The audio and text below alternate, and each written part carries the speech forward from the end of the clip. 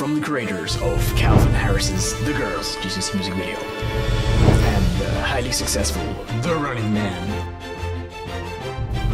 comes a pack of students.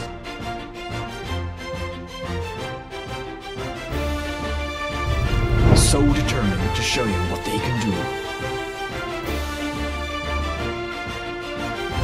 They've decided to invite you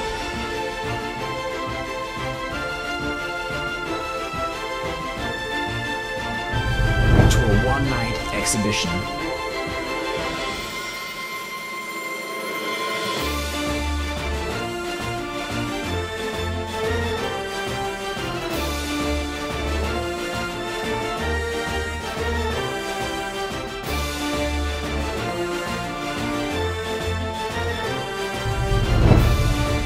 On Tuesday, June 7th, 2011, the John Cabot Academy.